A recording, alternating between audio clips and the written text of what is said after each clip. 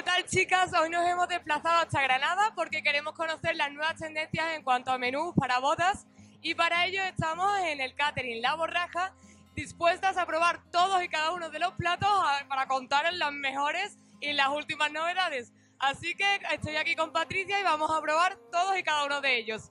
No os perdáis nada. ¿Estás preparada, Patri?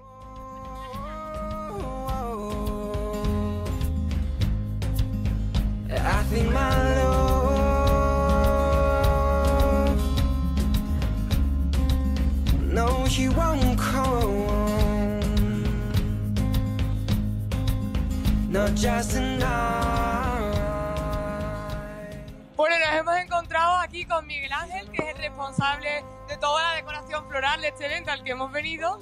Y vamos a preguntarle algunos truquillos para que nos cuente cómo puede encajar la- el tema de la, de la decoración de flores en la mesa de invitados y de los propios novios. Y yo quiero saber, Miguel Ángel, eh, algunos trucos en cuanto a colores, tendencias de este año para esta temporada. Así que nos puedes contar un poquito.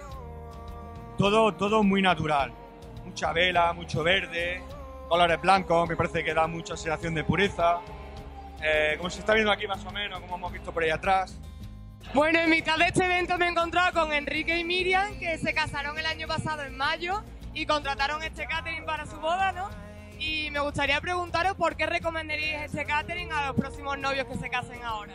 Bueno, lo recomendaríamos sobre todo, primero por el buen hacer que tienen a la hora de tanto la decoración como el, el- tema de, de la comida. eh, el menú estaba completamente hecho a nuestro gusto, la decoración fueron muy minuciosos eh, contándonos sus ideas conforme a lo que nosotros queríamos hacer y la verdad es que quedó exactamente lo que nosotros queríamos.